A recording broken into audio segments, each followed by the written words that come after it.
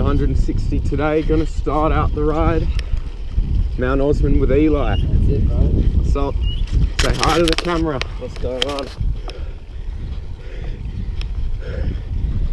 You know, my mate Everest was here last Saturday. Really? This is Talked about it. a fucked hill to Everest. I'll tell you that much.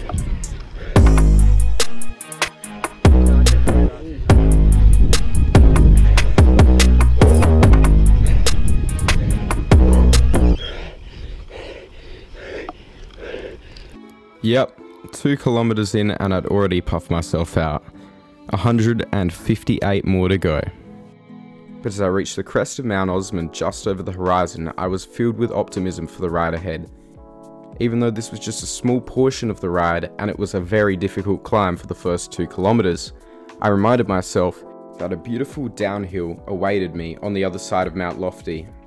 But now it's time for this fun section of Mount Osmond, which is partially downhill and partially uphill until we get to the freeway.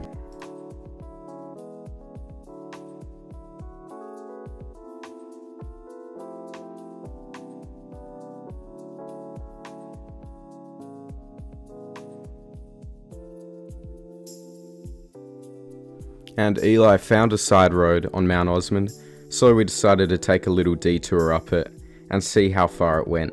That's why I love cycling so much, just the exploration of new areas is so interesting to me. That road just ended so abruptly, but let's get back on the main road. These driveways don't seem like they end at Murray Bridge, do they? Yeah. There are quite a few up here. Hey. Hey, how's it going? Good. Who's that? You know him? Another reason I love the bike so much is because when you're in a car, you don't feel like you're actually at the place. But when you're on a bike, you're actually in every place that you pass through and you get to experience it. As a human being on the ground, you don't feel like you're just in some box watching it out a window. But here's the fun bit. My favourite part of Mount Osmond is the other side. It's sort of a benchmark for how quick, how aerodynamic a bike can be. Now, typically, I'll do 50 kilometers an hour, although a lot of the records on here for cycling well exceed 80 or 90 kilometers an hour. This is one of the fastest descents in Adelaide. You notice how I slightly put my head down to get a little bit more aerodynamic, which can help me gain a bit of speed.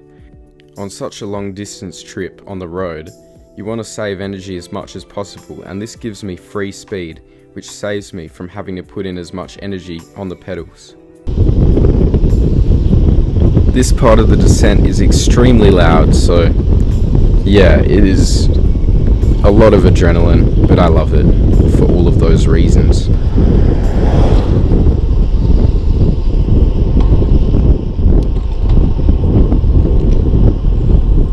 way. Pull over in the shoulder. You gonna keep going or not? Nah, I reckon that dog leaves too. Alright, I can't believe that was only 20 minutes up Mount Osmond and down. That's my PR, gotta be. Thank you. You've motivated me. You've been a good personal trainer. Get a, get a. Yeah, of course, mate. Of course. The wild 066 photo. Great. Airdrop it to me. With Eli heading back down the freeway bike path to Adelaide, it was my job to go the other way, up into the hills. But it wouldn't be without smugly passing some people who had less fitness than I do. Morning.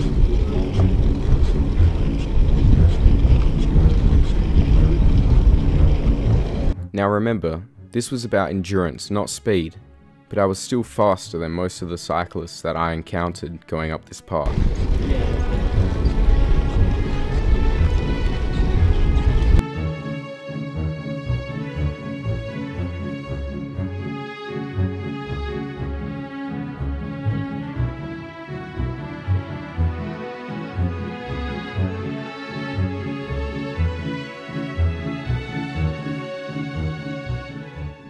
As I climbed up that hill, I started to have a reasonable suspicion that one of my tyres was slowly deflating. Perhaps it had a puncture in it, so I decided to stop and check. Now, considering we were just under 10 kilometers into the journey. This would have been absolutely catastrophic if it were the case. So, let's find out. Be right. I did bring a pump, which meant that if I did have a flat, I could just keep pumping it back up, which could slowly but surely get me to my destination in the end. But I knew that it was very likely that I'd get a flat on this trip, as my tyres were basically bald and they had holes in them going straight down to the bead. You okay? Yeah. Need these tyres to last at least till Murray Bridge. Oh, Honestly, it didn't look like that big of a deal, so I got back on the road and just hoped for the best.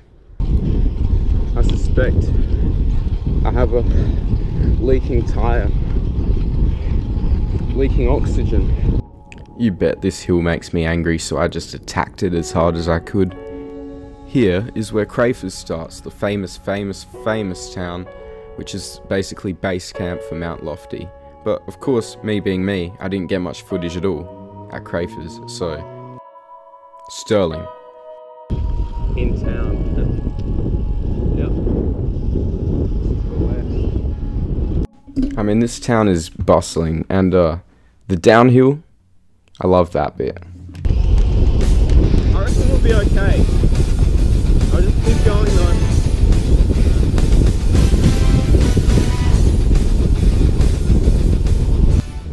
And now with a little editing, we're now on what I consider to be the most treacherous piece of road for cyclists between Adelaide and Murray Bridge. Watch out, this one's just before Hahndorf.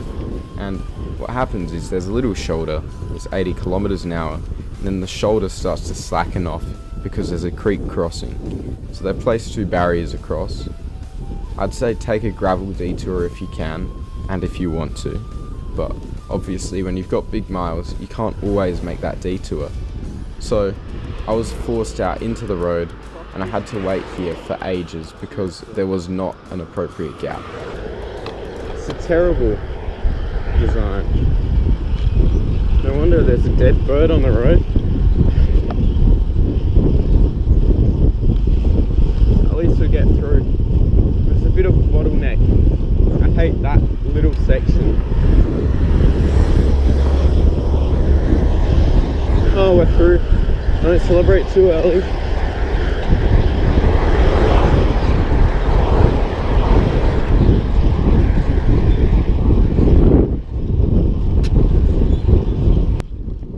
Back in Hahndorf, and I've actually covered this exact route in a previous YouTube video that I did called My First 100 Kilometer Bike Ride, which I went actually further out than I did in this one, except that one was a one way and not a return, and I actually got a car return. So yeah, kind of defeats the purpose of using a bike because did some environmental damage, but it was fun. But I'd say this one was absolutely amazing because I went out nearly as far, but I was able to come back, and I emitted basically no carbon, burned no fuel, did no harm to the environment. Relatively no harm. But I'm sure you've all seen this German town, or Hahndorf as it's more commonly known, so I'd rather skip past it for this video's sake. What the fuck? Callington said 24 at the last sign, and now it says 25. You're joking. Who was making these road signs? I've gotten closer, but the distance to it's only gone up. Yeah, I'm not believing that. I am not believing it. Oh my god. Look, next to us, building a housing development there. Can't believe that. Parkland, Littlehampton. I just saw a car driving and he had his boot open and I tried to wave at him.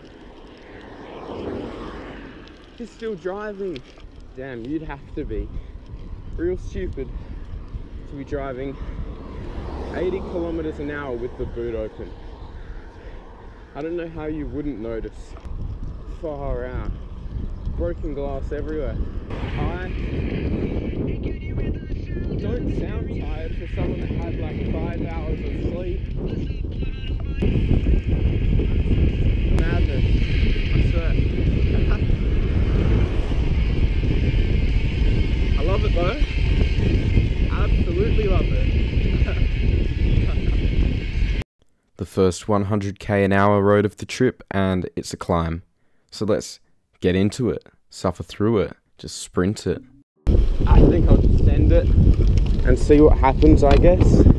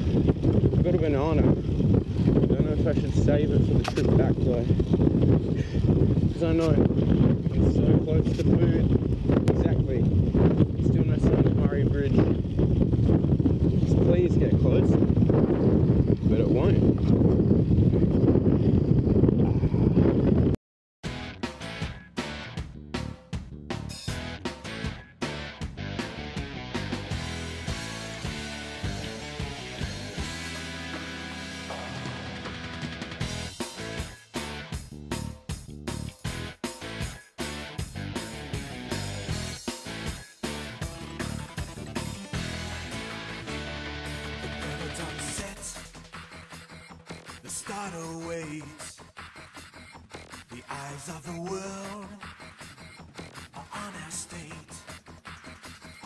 Anticipation as the time draws near. In the south of the nation,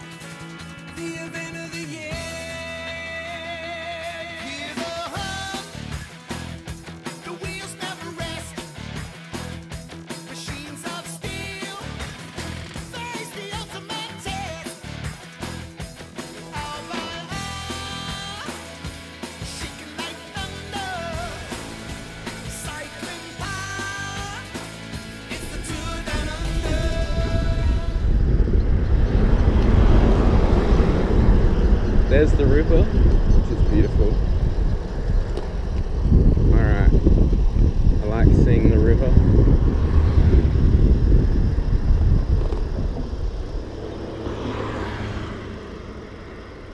It's a good sight. Very narrow bridge built. 1800s. Fresh uh, floorboards for it, I guess.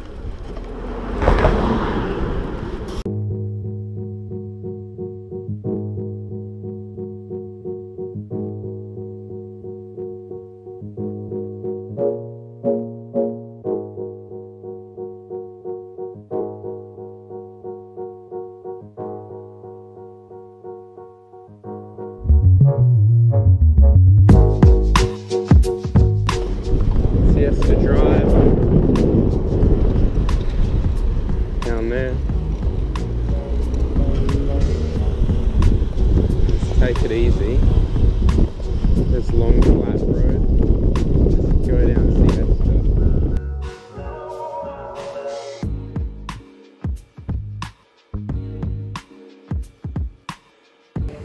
No one is even out here. I've got the whole place to myself. Yeah, it's so nice.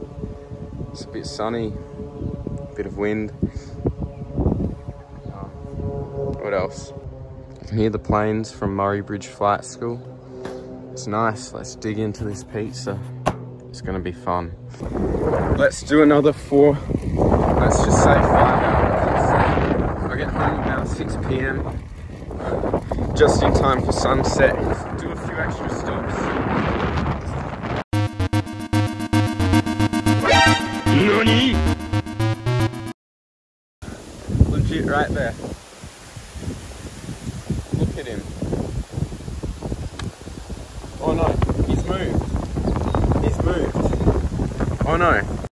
think I ran the poor guy over because his head was caved in a bit. I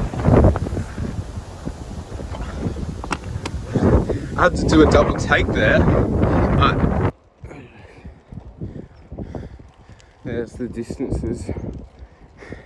Mount Barker's it's over halfway back home.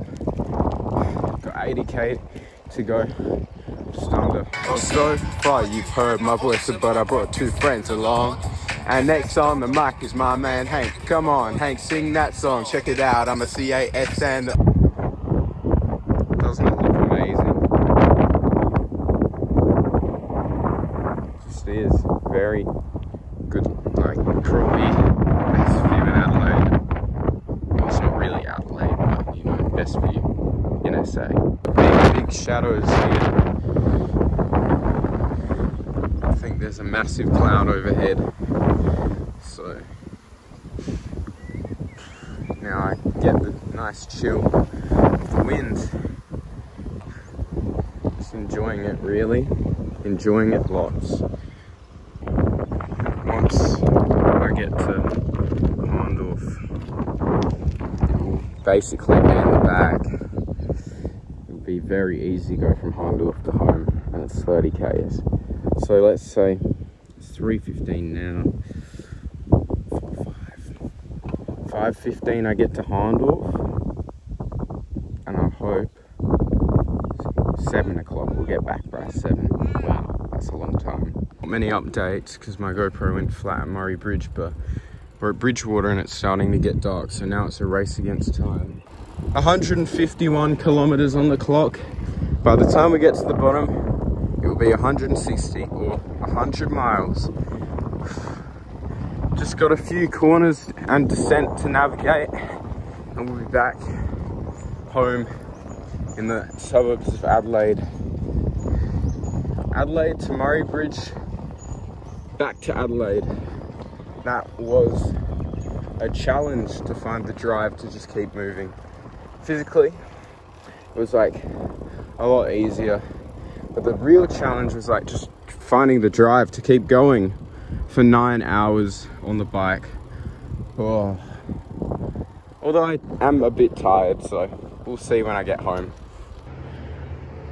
Only two kilometers, and I've got it.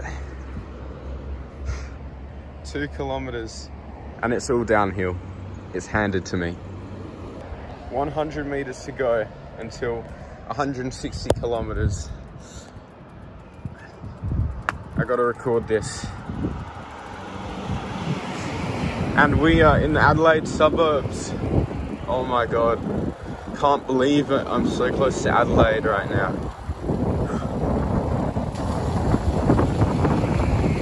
I can't believe I'm here. I made it. 160 kilometers in the bag, just like that. It started out as a joke. But the real challenge ends when we get back home, which I know I will, because it's only a few kilometers. And the real challenge after that ends when we save the ride and put it on Strava. 160 Ks, just like that. Just too easy. Hang on, I have not ridden this path since they put in that upgrade. And it looks like they've finished it as well to welcome me back into Adelaide. Welcome back to Adelaide. I'm nearly in the suburbs. Oh, man, I'm actually so close to home. It's been 163 terrible kilometers. I'm actually back. I can't believe it. I cannot believe it.